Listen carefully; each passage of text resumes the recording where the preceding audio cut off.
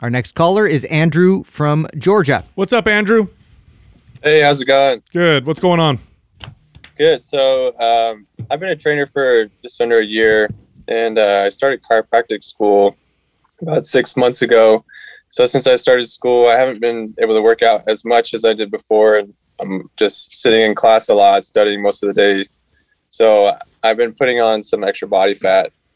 Um, and about two months ago, I reduced my calories, cut out a lot of the junk food I could eat, um, and I've been doing about two to three full body workouts a week. But I'm still seeing the fat um, come on. So I was just wondering what you guys would recommend for uh, changing training style or frequency, or just focus more on nutrition. Okay. What one of our programs are you following? Uh, none. Well, that is your first problem. Yeah. Big mistake, sir. That's your first your first problem right yeah, there. I would go. I would go Maps Anabolic. Uh, there's a dumbbell only version in there, so follow that. But honestly, the the thing you can do that'll have the biggest impact is your nutrition.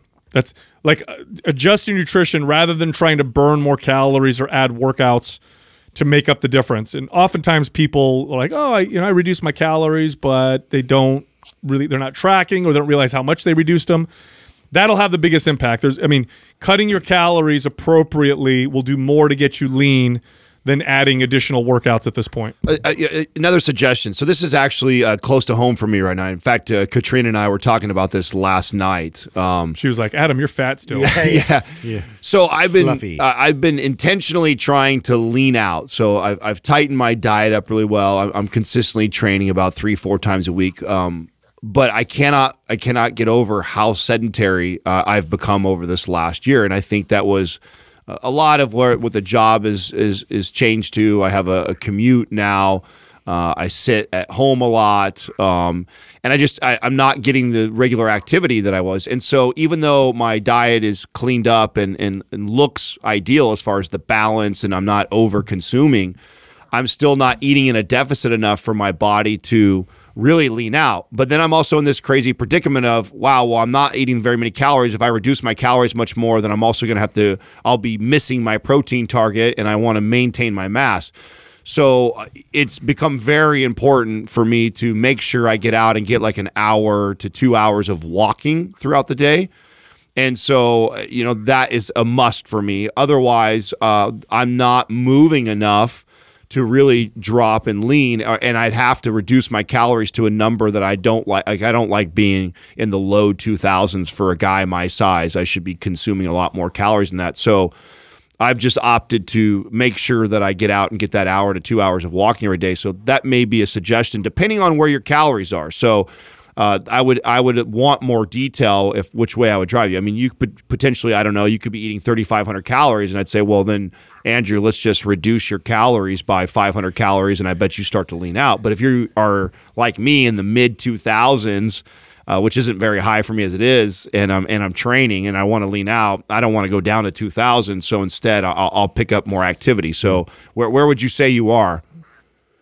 I, I know a couple years ago my maintenance was around 3000 um, and I dropped I think I'm around like 2700 right now because I didn't want to drop too much because I'm got that hard gainer type of body so I was worried about just um, losing muscle because I'm not eating enough but um, yeah right now I'm probably around 25 to 2700 So a very similar predicament as me. Yeah. What does your uh, macro ratio look like?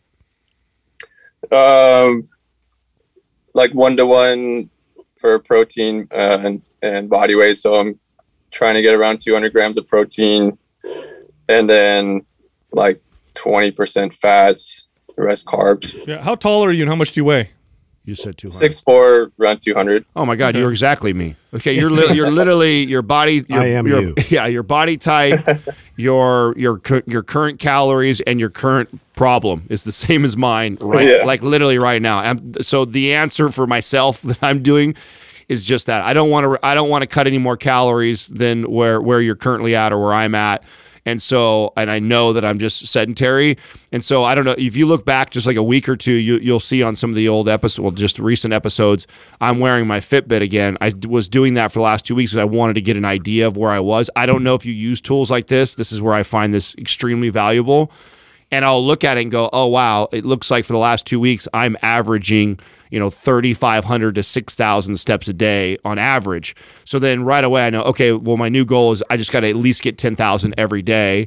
Some days it only requires a half hour walk, some days it requires an hour and a half walk. So, uh, I think that's a really good place for you to start uh, if you want to see yourself leaning out without having to significantly reduce calories.